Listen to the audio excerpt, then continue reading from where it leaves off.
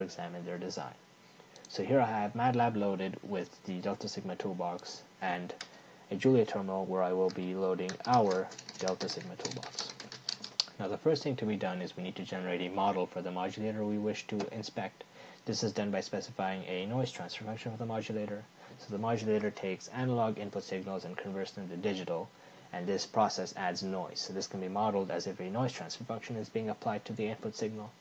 So to synthesize the noise transfer function in the toolbox, you would use the synthesize NTF function. So here I am modeling a third order modulator with an oversampling ratio of 32. The last parameter just specifies I want optimized zeros in my transfer function. Running that generates the transfer function for our modulator. Now I can issue the same commands in MATLAB, and what you will see is we get the same transfer function. Now MATLAB does round its outputs when it shows it in its terminal, but internally the numbers are the same. So with a model for our modulator, the designer will now move on to perform simulations and measurements on the modulator to assess their design. A simulation that can be done with the toolbox is we can see what the modulator would do to an input signal. So here I'm going to be generating a simple sine wave input that is sampled at the rate of the modulator and then I will be passing that into the simulate DSM function which will simulate the modulation of the input signal given the modulator. Now to see the output of that I will generate a plot which I have created a little script to do and as you can see in red we have the sampled sine wave and in green is the modulated output of the modulator. I can issue the same commands in MATLAB and what you will see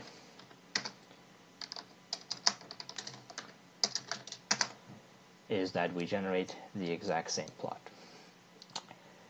Now, a metric of interest with modulators is their signal to noise ratio. As I mentioned, the modulator introduces noise when it converts analog to digital, and so a measure of the quality of a modulator is how little noise it can add. So a high signal to noise ratio is better.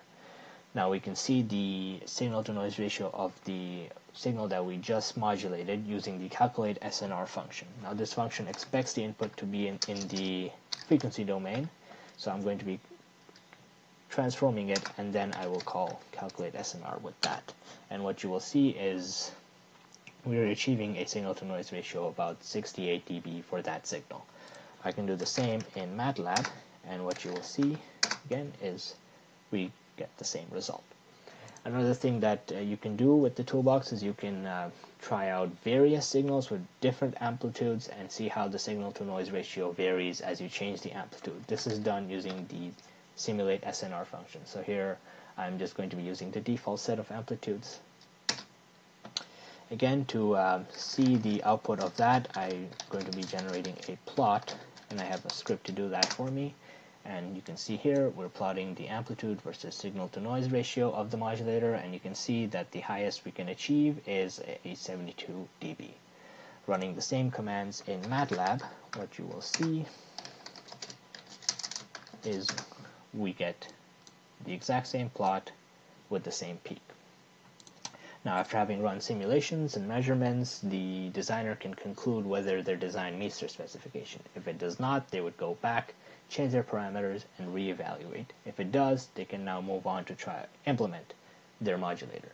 So in this stage, they would pro probably decide on some topology that they wish to implement, and once they have that, they can use the realize NTF function of the toolbox to generate coefficients for their topology of choice.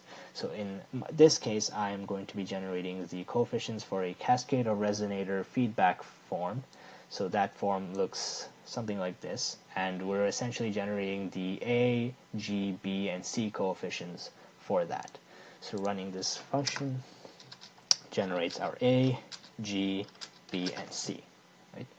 And I can issue the same command in MATLAB with the same form.